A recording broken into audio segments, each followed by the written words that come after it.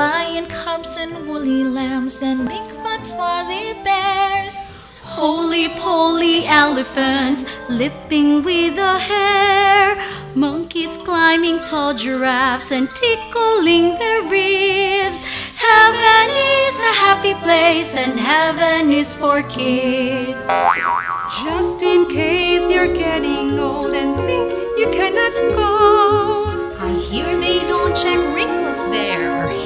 That's white like snow. In fact, the way I hear it, they'll welcome you right in. And just before you know it, you'll be a kid again. Singing songs with angel choirs or eating angel food.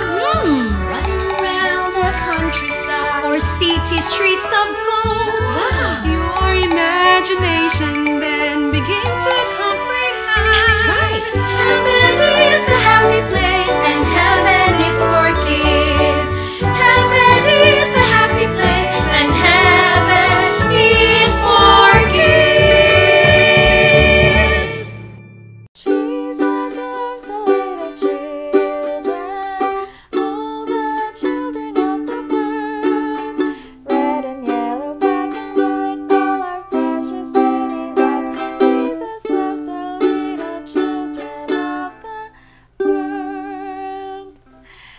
Morning, kids, and happy Sabbath. It's Aunt Rain again. And kids, Jesus loves each one of us, and God loves us in many different ways.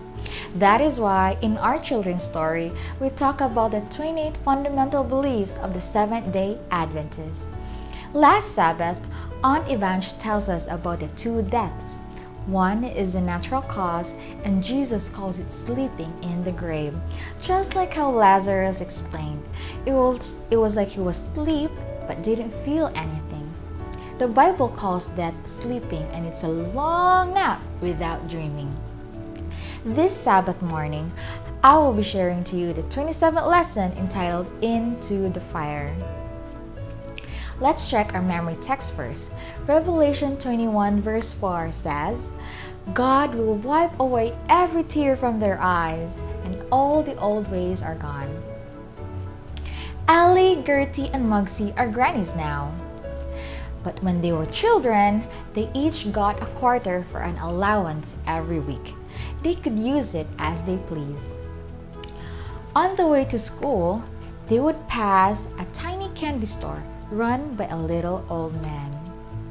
They look forward to stopping in the store on their way home and spending a penny for something sweet.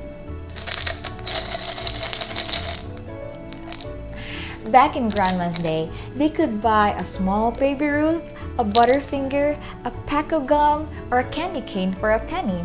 They could buy a gumballs, red hots, or Neccos. My, what a selection of colorful candies were arranged behind the glassy counter.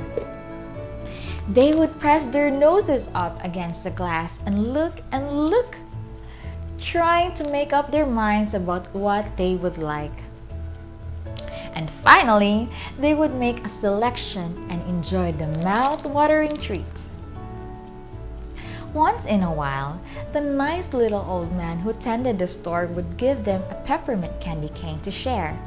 Since Allie was the eldest, she would do the dividing. She would break the stick into three parts and try to make them equal. She would hold them all up to see if they were the same. And if they weren't, she would bite off enough of the tallest one to make it equal. Then she would say, See, they're all equal now. After a while, Gertie decided, hmm, she wanted to do the dividing so she could make them equal.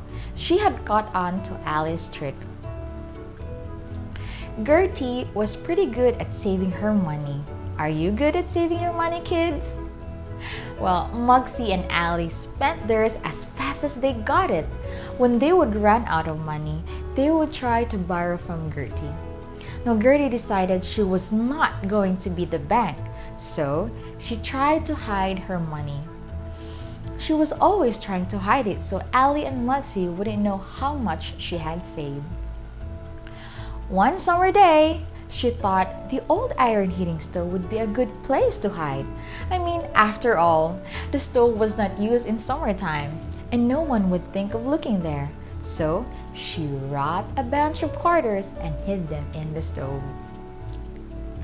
A few years after that, Daddy cleaned out his office and gathered up lots of papers and trash. While the children were out playing, Daddy put the trash in the stove and set fire to it. Gertie saw the smoke coming out of the chimney and rushed in to see a big blaze in the stove. Oh no, she cried, my quarters! She told Daddy tearfully about the hidden quarters. We'll sift through the ashes, said Daddy. Maybe they were they will still be there. Now, after the stove cooled down, they carried the ashes out to the ash pile in the backyard and carefully sifted through them. They found the quarters, but they were all just melted little lumps of silver. How disappointed Gertie was. Her treasure had been burned up. Kids, when Jesus comes, all the things in this world will be burnt up. As the Bible says, there is a day coming that will be like a hot furnace. All the proud and evil people will be like straw. On that day, they will be completely burned up. Not a root or branch will be left, says the Lord of heaven's army. Malachi 4 1.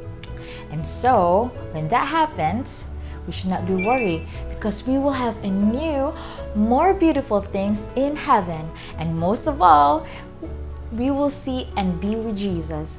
None of the things will ever be destroyed again. Our friend Ellen wrote, God has declared that sin must be destroyed as an evil that hurts the universe. Those who cling to sin will perish in its destruction. Children and kids, the fires don't come from an angry God, alright?